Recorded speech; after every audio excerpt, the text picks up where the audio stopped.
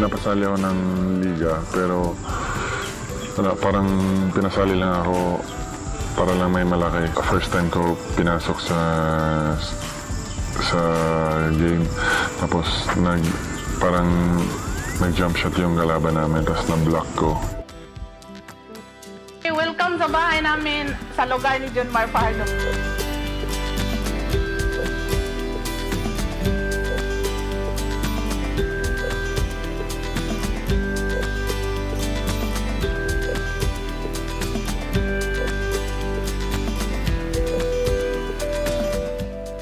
Yung buhay namin noon, ang hirap-hirap. Maliit lang ang bahay namin. Isang kwarto lang yata. Then doon kami humiga, doon kami kumain.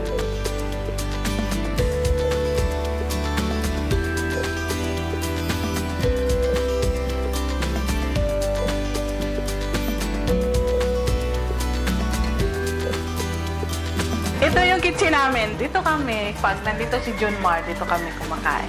Ito yung silid ni Junmar. Dito siya matulog. Ito yung bed niya, pinagawa, pinagawa kasi ano, walang kasya sa kanya.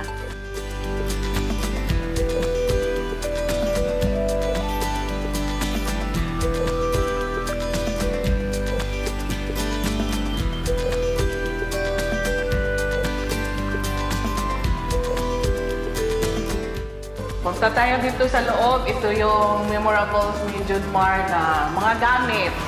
Ito yung sapatos niya noon sa UC na hindi na nagamit.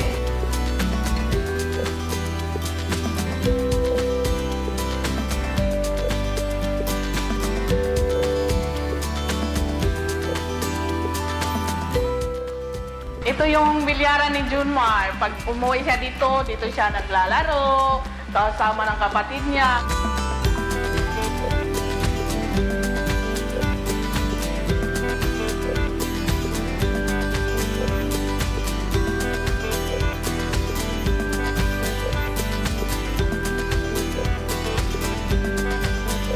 Yung lupain ni Junmar, tatlong hektarya to.